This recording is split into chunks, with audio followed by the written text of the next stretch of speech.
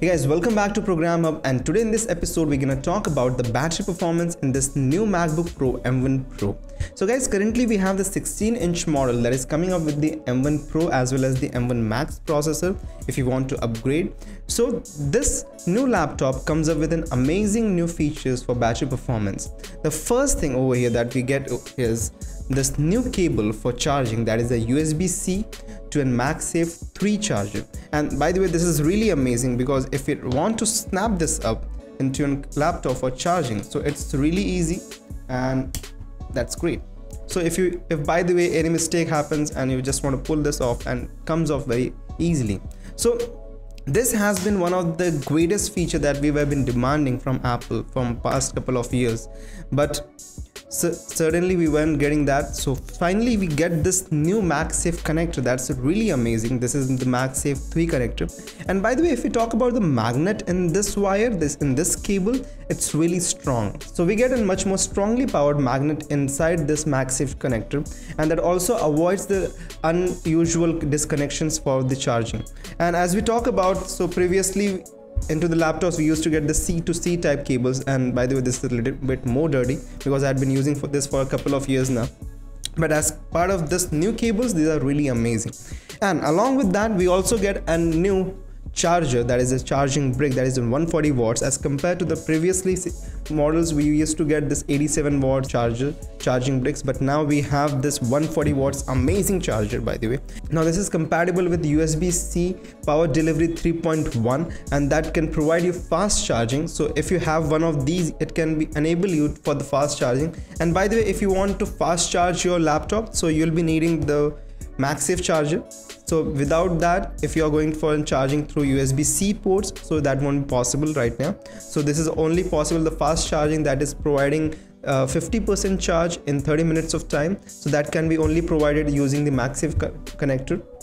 Now coming down over here to something more that is what is the battery efficiency in these new MacBooks? So first thing as claimed by Apple, the battery is getting charged within 30 minutes of time. The 50% battery is getting charged. So if you're quick on to go, if you want to go somewhere, and if you just want your MacBook to be charged, so it can reach from 0% to 50% within 30 minutes of time. And that's real truth. So we have also tested that and we can get the results the battery is getting charged within just 30 minutes of time to 50% and that's really great and awesome. And if we talk about the full 100% charge so it takes around 1 hour 30 minutes to get completely 100% charged.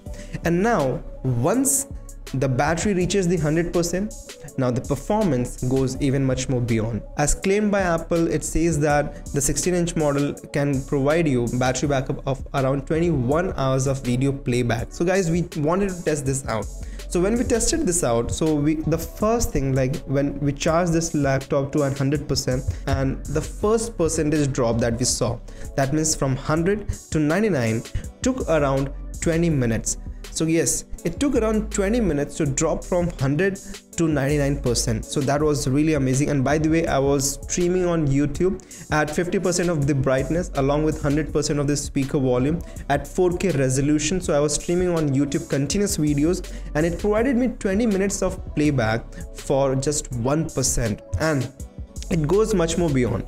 When the battery percentage came around to 95% at that moment of time the video playback that I was going for was around 53 minutes.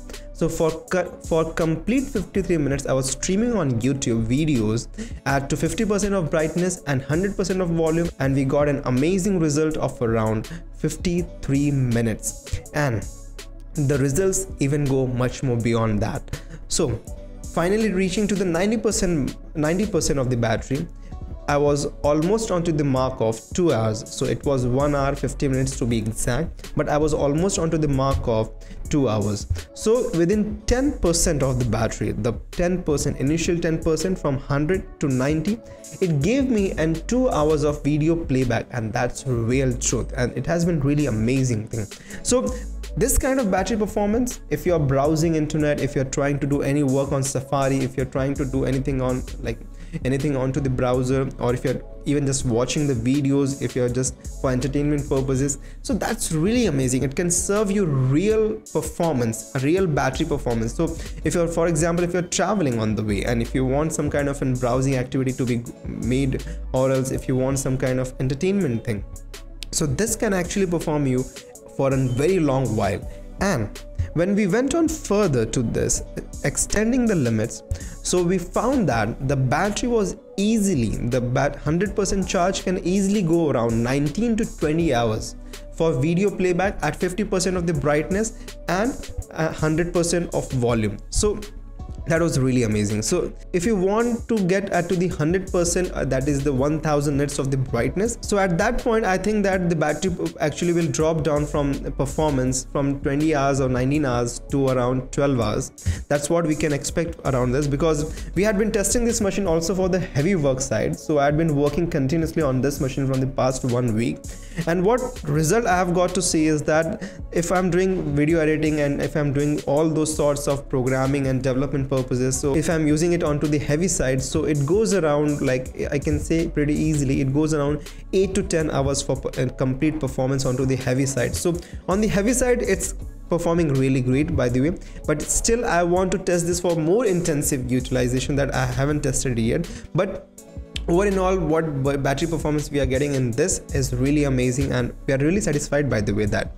So if guys if you have been waiting for this results these battery test results so this was it for you. And i hope that you liked our video. If you liked our video please hit that like button down below and subscribe to our channel for more such updates. And meet you in the next episode. Till then goodbye